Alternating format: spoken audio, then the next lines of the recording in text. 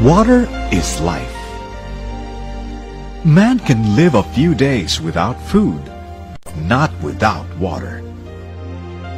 In fact, the body needs at least 8 glasses of water every day to function properly. Three-fourths of the earth is water. The pathways of water in the forests and mountains are also the pathways of life.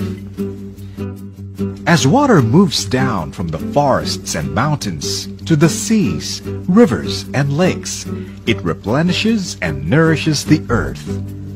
Large bodies of water separate continents and countries.